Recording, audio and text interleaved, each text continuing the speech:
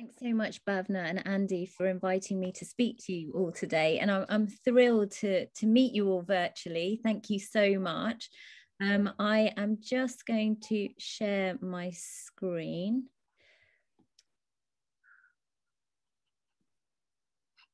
So let me just make that a slideshow. There we go. Can everyone see? Well, don't worry if you can't see the slides. I'm going to be talking through everything. They're more of a crutch for myself um, to, to remind me what I want to say. But can everyone see the full screen? Yes, I think up, Bhavna, if you can. Yes, I can see the screen. Brilliant, Thank brilliant. You. Okay. Uh, so um, very quickly, Andy, will you be able to let people in if there's a wait in, in the waiting room? I right? am doing. Yeah, that's fine. Okay, brilliant. Oh, thank you. Brilliant. Okay, well, so yeah, so Anne, Andy emailed me and asked if I would uh, give a talk today to all of you um, about three topics. So, uh, Charles Bonnet syndrome, uh, the Gene Vision website, and a little bit about the genetics behind Stargardt's disease. Um, and as Bhavna uh, introduced me, so I'm a professor of molecular ophthalmology and I have two research labs, one based at UCL Institute of Ophthalmology and the other at the Francis Crick Institute, where uh, I, my group are basically trying to understand uh, the disease mechanisms behind inherited retinal diseases, and also trying to identify novel targets for which we can then go on to develop treatments for patients. And what we also do is a lot of kind of clinical studies where we look at patients in a lot of detail so that we can work out how the disease progresses over the course of a lifetime um, and what markers we can also use for clinical trials.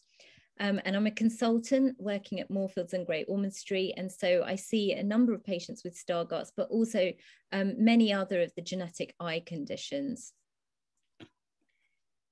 So, an overview of today. So, I'm going to talk to you a bit about Charles Bonnet syndrome, what it actually is, and why it's relevant to Stargardt's disease.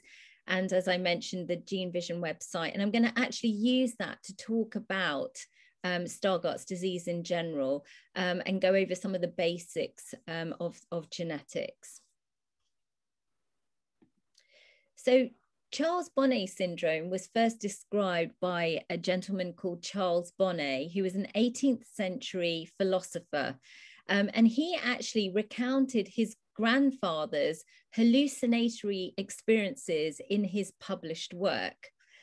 Now, Charles Bonnet syndrome is defined as visual hallucinations that occur when individuals are losing their sight.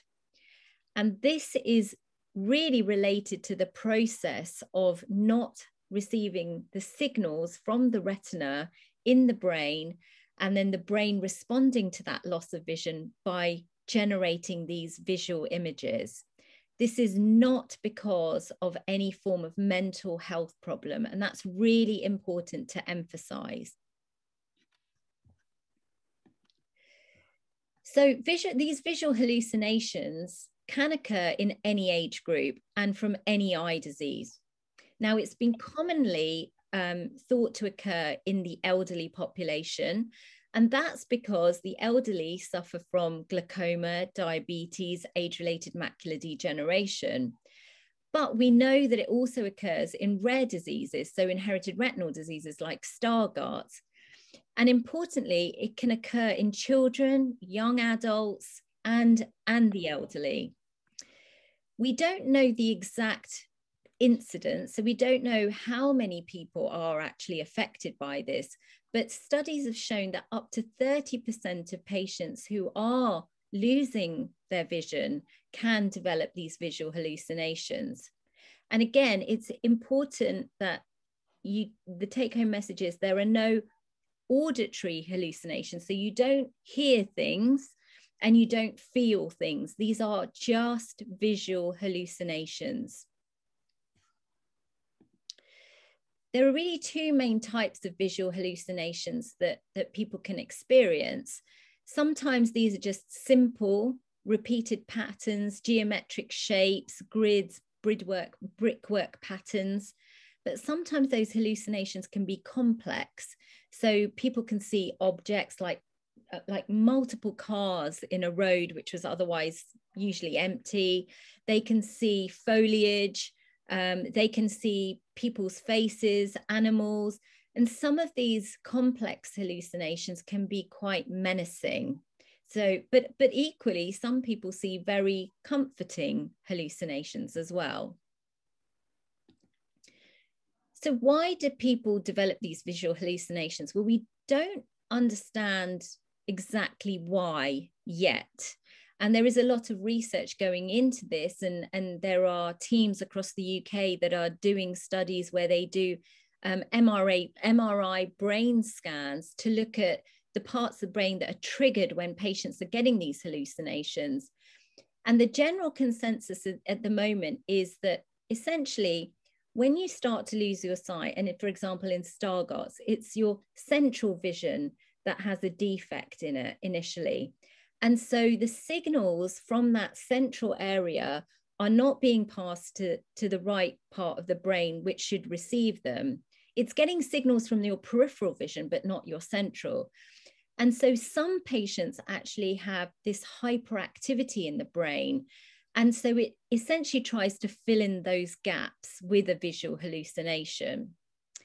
So this is just a, an example. What I'm showing on the screen at the moment is just a crowd of people, and there are lots of faces in that crowd of people. Now with Stargardt's, you might have the central area of your vision missing, and so you may not be able to see that face right in the center of the crowd. And as those signals are being sent to the brain, what happens is, is that in certain people, the brain tries to fill in that gap and it fills it in with some sort of pattern or face or image. And I've just flashed up a little, a little boy in an elf's outfit, which is completely bizarre. It doesn't fit in with what you think you should be seeing. And that's essentially what some patients with Charles Bonnet are experiencing. So we undertook a study because for a long time, we had no evidence that this was really happening in children and young adults. And so we wanted to address this because there, there is really no reason why, why it wouldn't happen in, in our younger generations. And so uh, we decided um, on anecdotal evidence that, you know, we weren't, as doctors, really asking patients about Charles Bonnet syndrome there were a handful of cases that were in the literature saying that it could happen, but we really needed more kind of sturdy evidence. Um, and we wanted to raise awareness amongst healthcare professionals, amongst patients, amongst charities, support groups like Stargardt's Connected, because what we found recently, there's been a big campaign by a lady called Judith Potts, who is an incredible uh, lady her mother actually developed Charles Bonnet syndrome when she was in her 90s. She was in a care home. And when Judith was going to visit her, her mum one day started to say she, she, she didn't want to eat the food because it was grotesque. She started to see slugs on her, her plate of food. But Judith couldn't understand that. And so she, she started to look around in the literature and she found out that actually some people who had macular degeneration were actually developing these visual hallucinations. She went to a GP with this who said he'd never heard of it. And so then she was kind of even more trouble because she was then wondering whether or not her, her mum may have some signs of early dementia. But otherwise, she was completely on the ball. She, she hadn't lost her faculties in any other way. And then she came across this um, through basically looking through um, a Google search in the literature and came up with Charles Bonnet syndrome.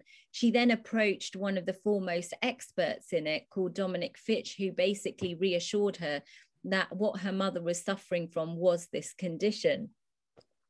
But again, this has very much been attributed amongst the older generation, but through her campaigning, more community groups, and especially pre COVID, people started to talk about this more when they had coffee mornings, etc. And more people started to say, actually, do you know what? I've had that, or I am experiencing it. And so by raising awareness, we are now able to kind of spread the word so that people are not worried when they when and if they do suffer these conditions now with children it's a slightly different um, issue because when they're very young you may get confused whether or not they've got a pretend friend or if it's just make believe. But i think once children get to around six or seven um, they become better at kind of explaining what what they're seeing. And and you as parents for any of you in the audience can discern whether or not this is actually maybe related to their sight loss or if it is just you know a make believe comment that that they're um, they're having. So anyway going back to the study so so we wanted to see if this was actually the case and and look more um, at at what was going at least in our cohort at moorfields so what we did is we searched through the electronic patient records of all children and young adults less than 25 years who'd attend Moorfields over a nine year period.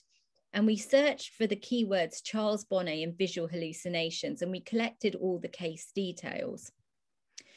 Now, what we, we found was that 13 patients were identified to have Charles Bonnet syndrome. 70% were, were male, um, and the average age of onset was 11 years of age. Most of those patients had a reduced vision. So if you were looking at the uh, vision chart, they may only be seeing the top line or um, close to that level of vision. And six of those patients were registered as um, sight impaired or severely sight impaired. Interestingly, 62% of those patients had an inherited retinal disease. Um, and as you are all aware, because you fall into that big umbrella, um, these are caused by uh, changes in your genetic code within your DNA.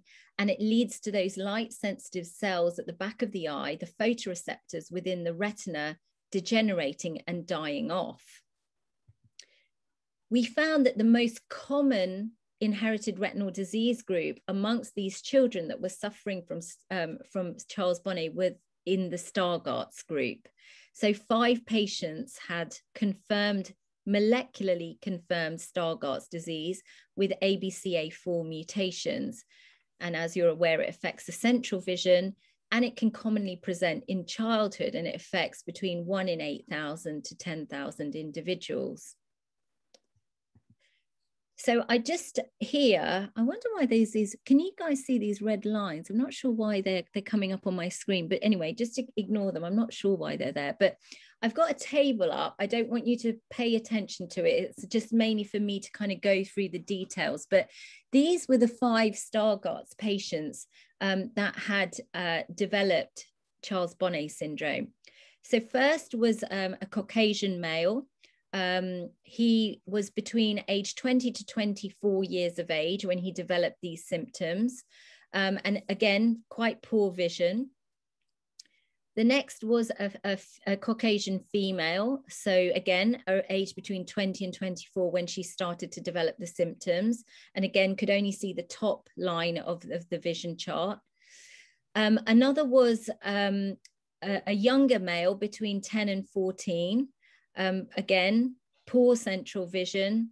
Same for the second male uh, between age 10 to 14. And then there was an, an Asian uh, male between the age of five and nine uh, who developed symptoms of, Charles Bonnet syndrome. Now, the last three, the younger three children, so the first patient had these simple kind of hallucinations um, and what we found was this was detected by a junior doctor in clinic and was just provided verbal information about Charles Bonnet syndrome. The next patient, again between 10 to 14, that patient actually was experiencing complex hallucinations. So this poor child was seeing menacing faces and faces where their features were really distorted um, and he was also, from time to time, experiencing simple shapes. Now, it was an optometrist in the low visual aids clinic who had detected this. And this patient was referred to a pediatrician um, and to a counselor. He was advised that he should have kind of quiet time um, at bedtime and was actually was experiencing sleep disturbances. So he was actually prescribed melatonin to see if that would generally help with his sleep pattern as well. He was given verbal information about Charles Bonnet syndrome and directed to a support group, and he was advised to contact the GP for further help. But the impact on that child was that he was frightened, he was upset, he had disturbed sleep, and his symptoms featured more frequently at night and it particularly caused him a lot of anxiety and stress. For the younger child who was between, who developed this between age five to nine, there were no real details given in the notes. Again, this was picked up by the optometrist. They were contacted by family support, and his main presentation was regular nightmares. So I've just gone into that detail because if any of you are sitting there thinking, actually, you know my, my child might be experiencing some of these things it would be worth gently having that conversation to explore it in a little bit more detail so the impact so this is for the whole cohort in its entirety. So those patients who were experiencing these complex hallucinations reported that it caused more fear anxiety disrupted sleep. Some of them actually complained of a reduced ad- appetite and actually that, that some didn't actually want to eat. And it's those people that were actually experiencing visual hallucinations regarding their food. So you know creepy crawlies on their plate of food that was actually putting them off and actually pushing them potentially into an eating disorder state. One patient actually dropped out of university because the visual hallucinations were so uh, plaguing that they couldn't cope with concentration, with the workload, with forming relationships with people um, at their university. One patient described uh, the symptoms of not being upsetting or disruptive at all. Um, but more than 50% did say that they felt that it impacted on their lifestyle and well being. Now, adults can usually rationalize these hallucinations, especially if you're aware that this could be a complication of sight loss they can understand that the hallucinations are not real. But from previous case studies, especially children under eight, they can't differentiate whether the hallucination is real or not. And that actually can have a maladaptive response in a child. And so it's really important that we give them support if they are experiencing this. What I would say from experience is that younger people who are experiencing Charles Bonnet syndrome that may not be aware of this would will worry more that they may have a psychiatric problem like schizophrenia. The elderly and older people who may be experiencing that again are not aware of this may worry about general psychosis and dementia, Alzheimer's, and it, or you know you know other other things like you know infection etc so you know it, i cannot emphasize enough how important it, it is to just talk about this to to almost normalize it. Some of these hallucinations can burn out and come to a natural end. Some can um, continue for a number of years. Uh, there's still a lot of research going into the kind of patterns and habits that, that are forming with patients so, next steps for all of us, we need to understand how common this is and the true impact and how we can manage our patients. One of the things that we're doing at the moment is undertaking a multi center national prospective study to understand the prevalence of Charles Bonnet syndrome in our children. And as I said, spread the word. And for any of you uh, who are on this call at the moment and are thinking, actually, I do have this, and what can I do? Well, for most of us, it's one, knowing that it exists. That's really good in terms of knowing that you're not kind of losing your mind and that it's nothing more sinister than that. There are simple coping mechanisms. So, some of those coping mechanisms include distractive techniques. So, for example, if you look from left to right every kind of 10 seconds, that can actually just jog the hallucination out of your out of your vision if you go to do something like, for example, switch the light on, some people hold a torch under their, their chin and switch it on and off a few times, and that gets rid of it. Actually, trying to touch the hallucination helps because it isn't there. it's not real and so you're almost pushing your brain into an action that is directing its focus on that and therefore displacing the visual hallucination now if there are any of you who have heard about charles bonnet have tried these kind of distractive techniques and you're not it's not working and it's causing more kind of anxiety fear frustration, anger, then there are support groups that you can join. You can contact Esme's Umbrella for support at any time. Um, but if it's more serious than that, I would urge you to get in touch with your ophthalmologist, share this with them, because you can be referred further. Um, there are specialists uh, in psychiatry who can just make sure that there isn't anything else going on and then either give you kind of cognitive therapy, that counseling that might kind of help. And there are some drug treatments now that are coming through that may also be able to help too. So we can escalate this in a stepwise ma- manner, wh- whereby if simple things are not helping, we can actually support you and help you to get more help as, as we move on.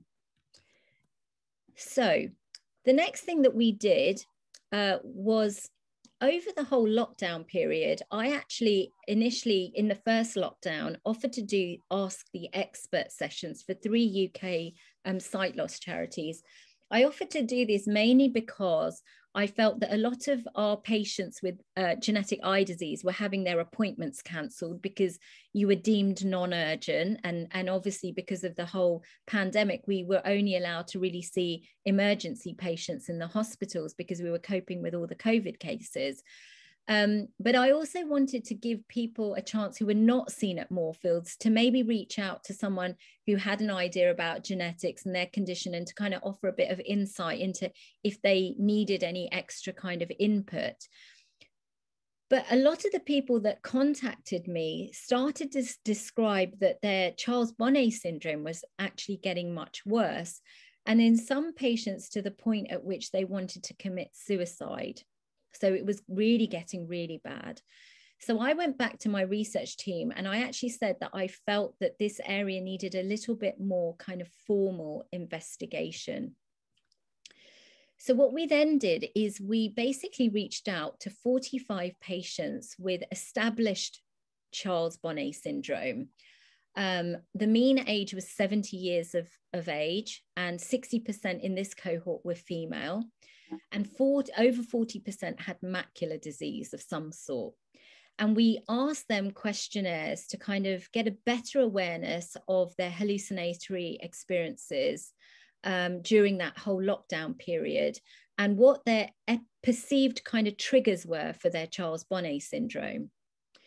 And what we found was that 56% of patients uh, reported an increased frequency of their vis visual hallucinations. Close to 50% reported a change in the nature of those hallucinations. They felt that they were becoming more sinister. And over 50% actually reported a change in their emotional response. So they were more fearful and anxious with regards to those hallucinations. Nearly 70% of patients reported greater feelings of loneliness. Um, and despite all of this, 60% had not reached out to support services. So they were just living with this. So the perceived triggers for these increased frequencies were the loneliness, the isolation. Nearly 50% thought it was due to reduced physical exercise and 30% actually attributed to the chronic depressing news. So the number of COVID deaths, the number of cases going on, the, the continuing lockdown. Um, and 25% thought it was reduced access to healthcare as well. And that kind of, and I did see that, that over the lockdown, a lot of people, you know, because they were isolated, they had a lot more time to kind of reflect on their condition, and what was going on with regards to them. And so then getting an appointment cancelled by the hospital and not knowing when their next kind of schedule, that actually caused a lot of anxiety for a lot of patients. so what can we do to help well staying in touch with each other i mean i'm so pleased that we are now moving out of the lockdown but we we're not quite there yet and you know there may be talks of third waves etc so all i can say is the, the stuff that you guys are doing Stargardt's connected literally connecting with each other is so important. Even just regular coffee mornings virtual ones giving you know relatives a phone call just to say hey how are you? It's so important. Getting involved with community support groups from a hospital point of view, you know, I, I didn't cancel any of my patients over the whole COVID period. I converted to virtual contact, even just a simple telephone call from a genetic counselor or an eye clinic liaison officer to check that you're okay is really important. And then if any of you are feeling vulnerable and in that position to, to reach out to the charity helpline. So for Charles Bonnet, Esme's umbrella is fantastic. It offers support, counseling, advice. It will get you connected to people who, who you need to be connected with. The RNIB have um, support lines. Retina UK have a buddying system, Macular Society, and I'm sure Stargardt's Connected have, have things in place for you too. So just, I want to just have an interim thank you at this point for um, the main people that helped me with this study. So Dr. Lee Jones, an amazing psychologist um, who was involved and, and kind of run the study, which is now published in the British Journal of Ophthalmologist. Laurel Ditzel Finn, who is uh, an eye clinic liaison officer at Great Ormond Street, um, who collected a lot of the data, and the amazing Judith Potts, who runs Esme's Umbrella. And thank you to Thomas Pocklington Trust that um, supported this and the Wellcome and um, the NIHR Biomedical Research Centre at Moorfields and UCL Institute of Ophthalmology. So um, I'm I'm going to be moving on to gene vision, but maybe this is probably a natural pause for Charles Bonnet questions. If Andy, what do you think? If yeah, there are any, or I could keep going. No, we've got a couple, if you don't yeah. mind, Mariya. Um, so I'm just going to read what's been put in the chat so far.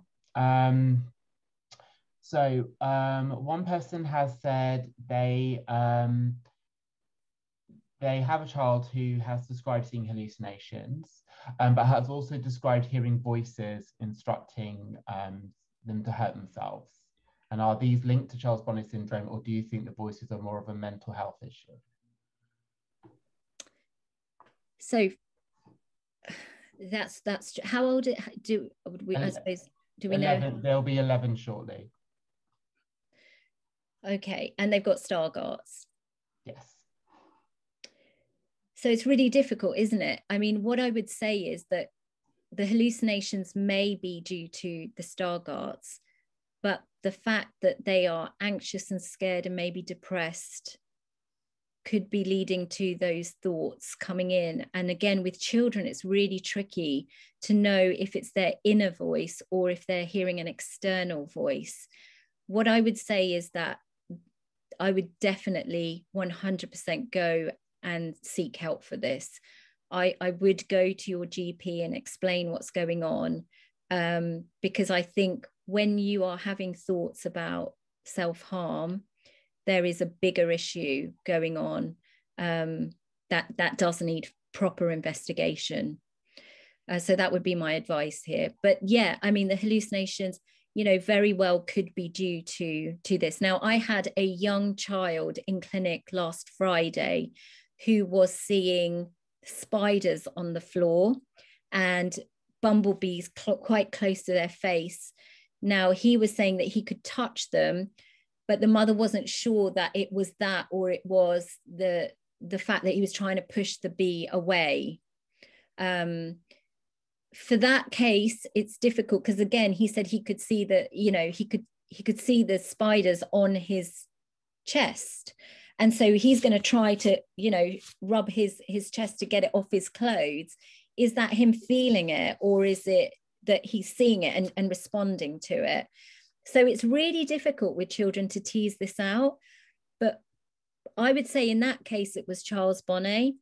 But when it comes to self-harm what's happening is you can't tease out whether it's a response to the sight loss and to, to po- possibly visual hallucinations as two separate things or if it's something completely different. I hope that helps, but please do seek help.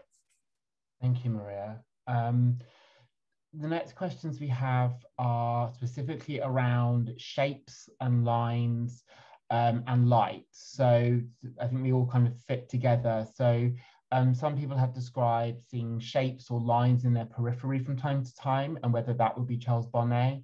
And a number of people have reported that they see lights um, in their vision, um, green wiggly lines, purple or blue flashes, particularly when they're tired. Could these be Charles Bonnet syndrome or, or perhaps an, another symptom of Stargardt's? Okay, so it's really important that um, you know that when when the so okay that sometimes the eye can get different um sensations and and and light sensations especially when you're suffering from sight loss. Your eyes will never create colored visual symptoms okay so i'm going to take a step back when you have an inherited retinal disease and the cells are potentially dying off, you can almost get a flickering effect. Okay, and that's that's common, and I've I've seen I've, I've seen loads of patients who report this. They just almost get a flickering, and it is almost like the cells that are not working very well are kind of sending off this kind of abnormal discharge signal. Then you've got patients that actually develop flashing lights when their retina is being tugged. Now, this is something else. So as you get older, you get you. We all have a jelly in the center of our eyeball that is attached to various places in our retina. And as we get older, that jelly starts to shrink, it starts to lose its kind of moisture and it's tugging on the retina. And when it tugs on the retina, you can get these flashing lights in the periphery that flash. But really, they are just occasional flashes. If you ever got persistent flashes for more than an hour, we would actually tell you to come into accident and emergency to get checked to make sure that you haven't actually got a retinal tear or ret- retinal detachment. So that's one thing. And I don't think that's what, what's being described here. The other thing to say is that we sometimes get black floaters in our vision. And again, what that is, is depending on which angle you have in your eyes, you get light coming through and it hits the jelly in your eyes. And especially on white backgrounds, you can get these black floaters.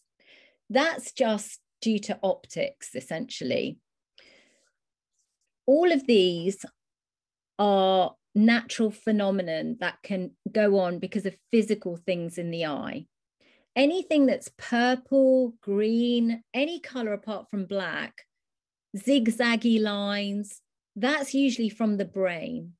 So I would say to anyone who's got those atypical type of shapes or lines or colored lights, that's more coming from the brain. And so, in my opinion, yes, that is probably a form of Charles Bonnet syndrome. Sometimes you get migraines. I suffer from migraines. Um, and my migraine starts at the center. And the first time I ever had it, I was on the computer and I couldn't focus on the words that I was typing. I just couldn't see the word. And then it almost became a zigzaggy line that that started going out in a spiral and I could see it. So that's that's visual that's kind of a visual aura before a migraine. So I, I would just say that, you know, if you know you're getting migraines and headaches like that, you should be seeing a GP about that if you're getting these kind of purple green colored lights and the shapes and things like that I, I would definitely say that's more likely to be um, charles bonnet syndrome i hope that answers your question thanks Mariya and we've got a thank you in the in the message in the chat sorry um, for that response. So thank you very much. We've got about 10 15 minutes left Mariya if you want to move move on to your next bit. Brilliant. Okay so i'm just going to minimize you guys and go next. So so the next part of the talk I wanted to tell you about was uh, Gene Vision, which is a website that I have poured a lot of my kind of heart and soul into over the last two years. And it was launched on the 1st of December uh, last year. Um, it is a, I think, a brilliant website, which is essentially made for all of you. It is a web resource on rare genetic eye disorders, literally for everyone. So, healthcare professionals and for patients. Um, it's reliable, it's written and edited by specialists, mainly at Moorfields. Um, and actually re edited by patients and charity groups. It's got all the relevant information about your condition, the latest research and it explains it in, in a lay language which you will be able to access and understand. But importantly, it's an absolute reflection to what the entry is for healthcare professionals. Um, so, and you can even access the health, health healthcare professional page if you want to kind of just make sure that the detail is is there for, for from both sides. There's a huge section on the kind of practical aspects of, of sight loss. So there's a coping with losing your vision area. It talks about Charles Bonnet, education, driving, employment, family support. And there are all the links to all the relevant organizations and charities. And what we made sure was this was very, very patient friendly. We actually had patient focus groups um, that were run um, at Moorfields and the Institute of Ophthalmology, where we brought patients with all levels of visual impairment, parents of children uh, with inherited retinal diseases. Um, and we actually got two uh, digital accessibility consultants but one who's deaf blind and the other one who's got a genetic eye disease to essentially work with us to make sure the site um, is compatible with all kinds of speech programs um, and it's been tested on, on a number of patients. We would like to kindly thank the sponsorship of Retina UK and again the NIHR uh, BRC at Moorfields for essentially helping to fund this amazing resource. So this is the page, which I'm actually going to go live to it in a moment, but this is just a screenshot of the page. If you were to type in Stargardt's disease, you will come up with Stargardt's disease for patients. Um, and the things that are listed here is an overview on the condition, any of the kind of management and treatment that we offer at the moment, current research into Stargardt's disease, practical advice, how to get a referral to a specialist centre for genetic testing and specialist input, further information and support, patients' perspectives, references on some of the key papers, and then a link to the professional page, which is um, ABCA4 retinopathy. So um, I know that there are some people that are new to Stargardt's connected on the call, and uh, I was asked by Andy and Bhavna just to talk a little bit about the genetics of Stargardt's. Now, the most common genetic cause of Stargardt's disease is a gene called ABCA4. Now, this is actually in, inherited in something called an autosomal recessive manner. Now, just to start with the very basics, when you have a child, dad will give half of his genes and mum will give half of their genes. So every every individual has two copies of every gene, one from mum and one from dad. Now, if the parents of a patient um, they appear completely healthy, but actually, with the most commonest form of Stargardt's, this ABCA4, the, the father will have a good copy of that gene and a bad copy of the gene. In the same respect, the mum will also have a good copy and a bad copy of that gene. Bad copy meaning that there is a mutation in that particular gene, which means that it's not functioning properly. Now, because both the parents have a good copy, that good copy is strong enough to override the, the bad copy and the parents don't have any problems at all with their sight. They're otherwise healthy, but they are carriers of that bad copy. And when they ha- go on to have a child, unfortunately, they have a 25% chance of passing those two bad copies to a future child. And if a child inherits, inherits two bad copies, then they will go on to develop Stargardt's disease.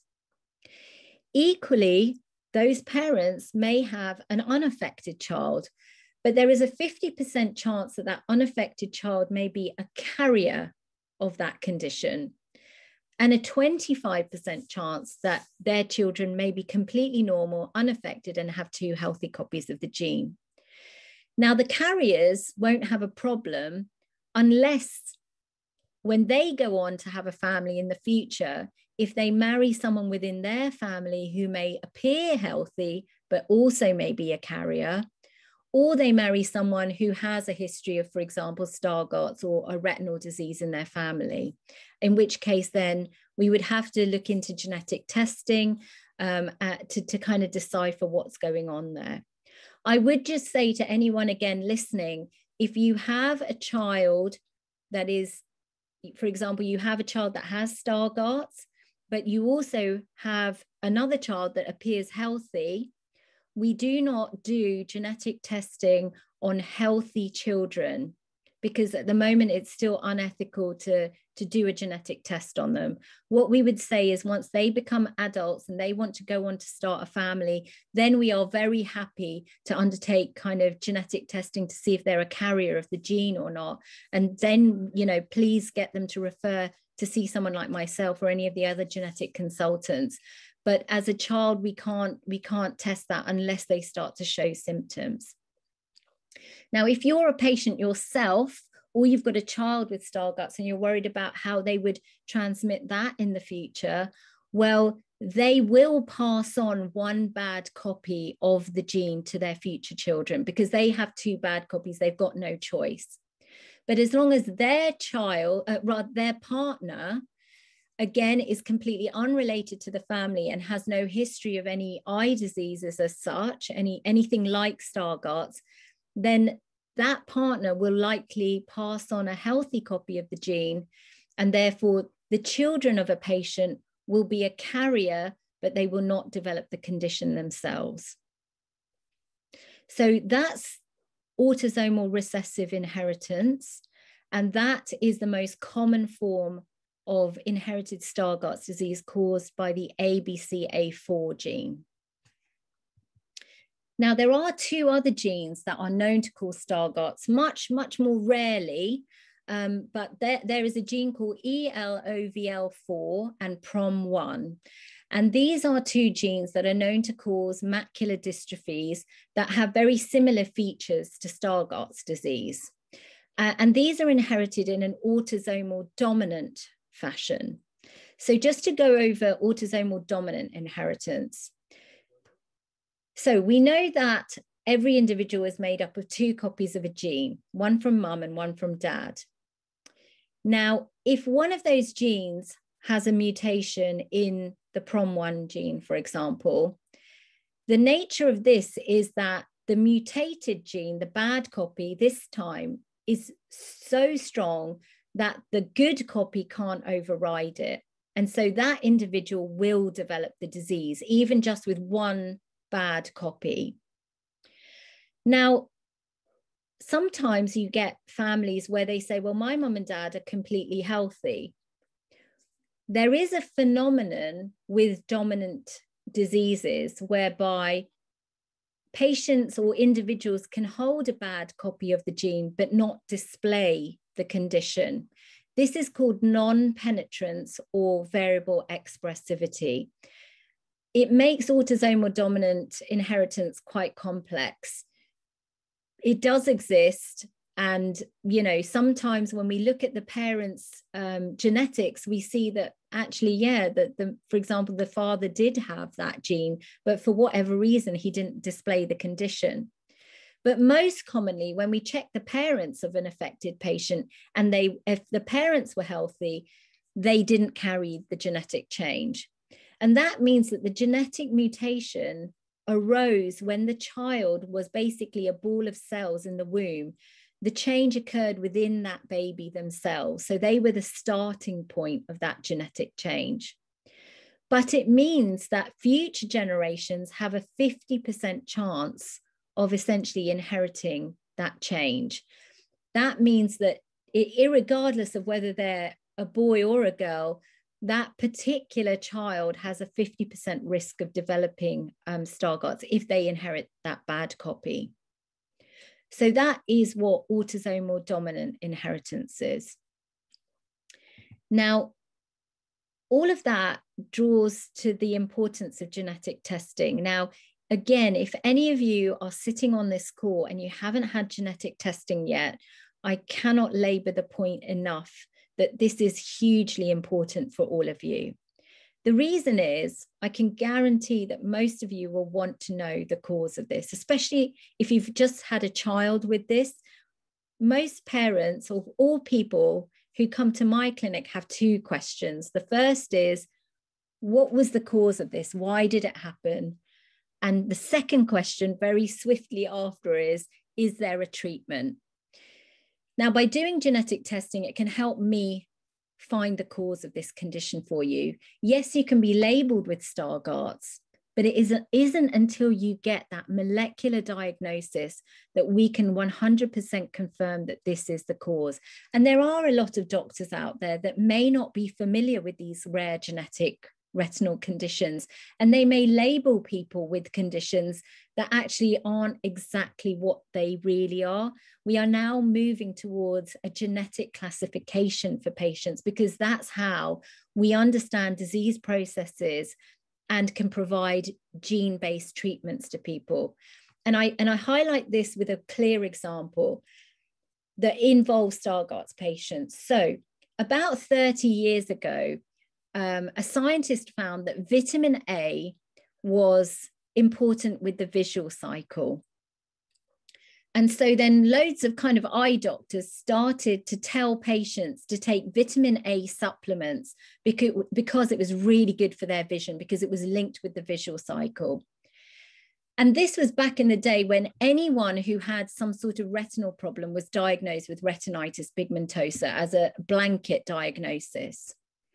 So then all these poor patients started to take vitamin A supplements. And then a large group of these patients started to lose more vision. And that was the group with Stargardt's and ABCA4 mutations. And that's because too much vitamin A was causing toxicity in the retina and was making the cells die faster because the nature of the genetic mutation was that it couldn't break down that, that buildup of toxic product. And so it's important, and I know people have told you this many times before, but it's important that patients with Stargardt's do not take excessive vitamin A in their diets. And it's important that we know what genes are causing your condition so we can give you that appropriate advice. Then, obviously, genetic testing will help with um, informed genetic counseling. So we can tell you your risk of having another child with this. We can tell the patient the risk of having future children with this. We can offer you family planning. Now on the NHS, there are things like pre implantation genetic diagnosis, which is a form of IVF, which is essentially where we can take the sperm and the eggs from, from a partner's, we can fertilize it in, a, in the laboratory, and then we can take a, a, single cell once it's an early ball of cells, a blastocyst, and check whether that embryo is carrying two mutations in the ABCA4 gene. If it is, then we would discard those embryos, but we would implant the healthy embryos back. And so you then know that you won't be passing this on to future children. There's also non invasive uh, prenatal testing, which is where we can now take a blood sample from a pregnant mother and check whether the fetus, we can get the fetus DNA from the blood sample and see again if the fetus is carrying the genetic changes or not. And then it's up to the couple whether or not they, they want to proceed or, or make other decisions. The other reason for genetic testing for people like myself is for the development of treatments. So we can understand the why that gene's working to call how it works to cause disease and how it works in normal health. And then for you as patients access to the number of clinical trials that now are available for, for stargardt's patients. Oh, so yeah. I'm, yeah i'm coming to an end now. Lovely so so just to say that uh, if you do have any other questions and you want to contact me um, my uh, email address is m.moosajee at nhs.net and bhavna andy can pass that on to you so just very lastly i'm going to end but i'm just going to quickly jump on to um, Gene Vision, if that is okay. So there we go. So this is the website. I hope you can see that. So all you have to do in your browser is type in gene.vision, or you can also type that into um, Google and it will come up. And this is basically the page that you will land on. So all you have to do is navigate and you will be able to with all speech softwares to the search box and if you type in stargardt's it will automatically uh it's thinking there we go stargardt's disease stargardt's disease for patients comes up straight away and you can click on that and it comes to that page which i talked about and if you scroll down, it will give you an overview. And this is all written. So hopefully you will understand everything that's there. But if you, for example, wanted to know more about photoreceptors or the ABCA4 gene or the macula, these things are, are highlighted so that you can actually link in and learn more about it. It goes through the symptoms that you will be experiencing, the cause, how it can be diagnosed, it's got pictures of, of what it looks like at the back of the eye. Um, it talks about the inheritance patterns, talks about kind of supportive measures um, that should be offered to patients. Um, uh, optimization for for uh, ensuring children develop fully despite having Stargardt's and then it talks about some of the current research, so the trials that are underway, and actually has the links to those particular trials. So you can go and have a look at those, you can learn more. And often on clinicaltrials.gov, uh, when you link to a trial, there will be contact details in uh, you know if you scroll down eligibility criteria so you can get in touch with people but just a warning that some of the trials on that website are not always ethically approved um, we have had cases of patients who have contacted some of the trial coordinators for some stem cell trials and recruited in and then actually lost vision. So before you kind of jump in all kind of gung ho, it's really important that you consult with your ophthalmologist first to ask, oh, I, I noticed this. Is this actually a valid trial? You know, do you think it would be worth me contacting them just to kind of get the thumbs up on that? So it gives you a link about that and it just gives you a lot more kind of information about gene therapies, what's under underway for other inherited retinal diseases. It talks about some of the um, advances in stem cell treatments and links and then practical advice.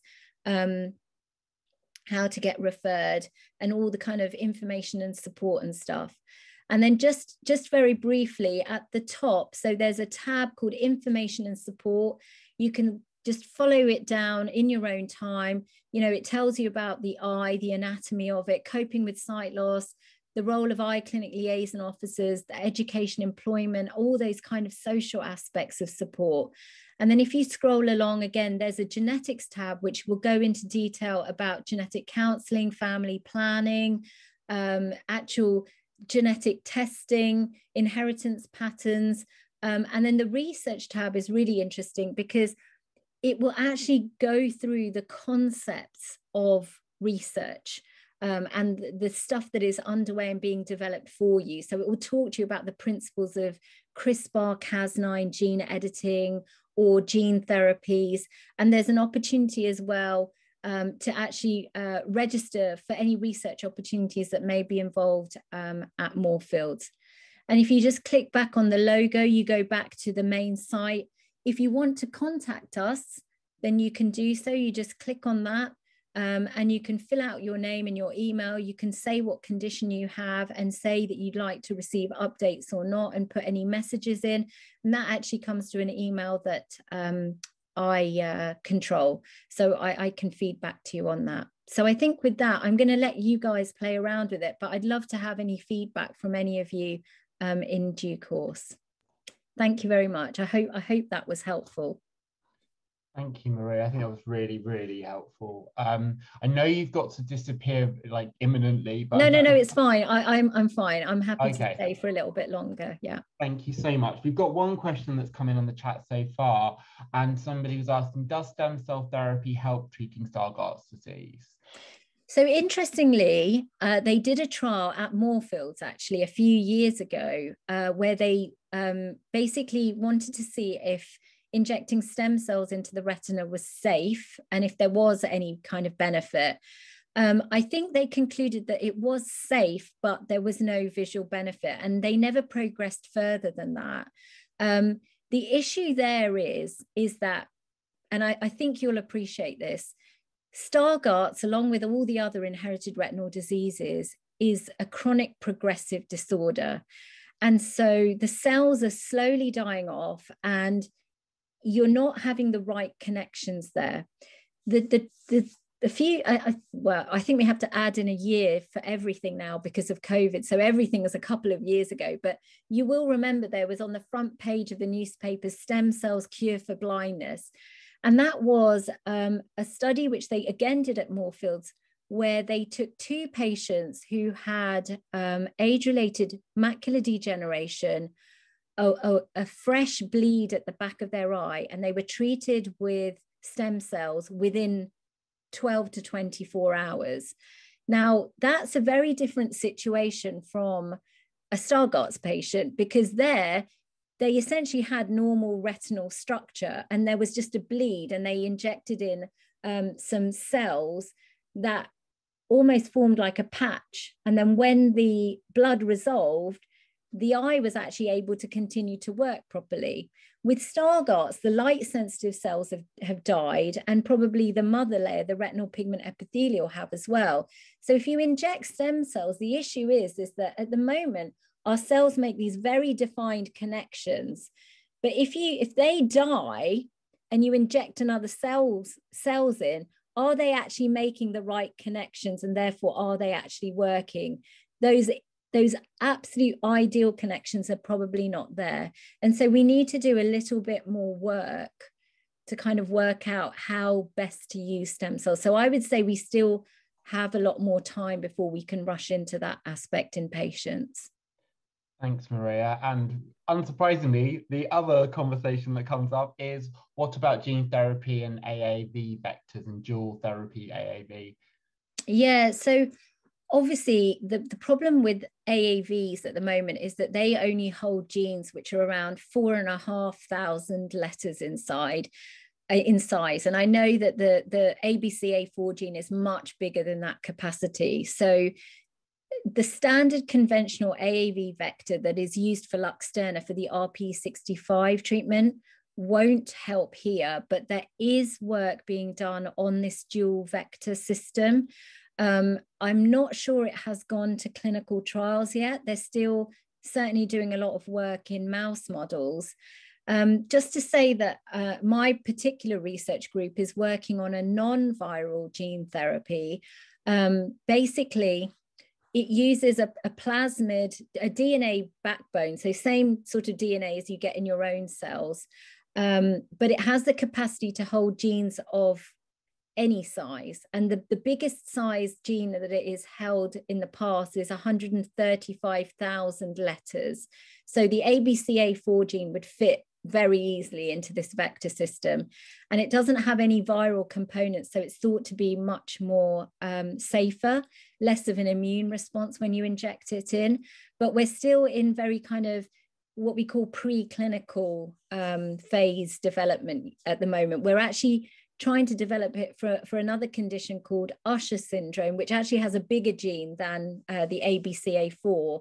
And we're trying to see if that, as a proof of principle, will work. But that potentially has the ability to be applied to, the Stargardt's gene and, and help in the future. And, and the other good thing about those vectors is that, as we know, AAV vectors, you can only at the moment inject it as a one off. Um, and that partly is because we don't know what the immune response will be if you gave a second injection. Um, so these developing these kind of alternative vector systems are going to be good for the future because if AAVs didn't work, then you may have a backup of something to be able to top up top, top up later.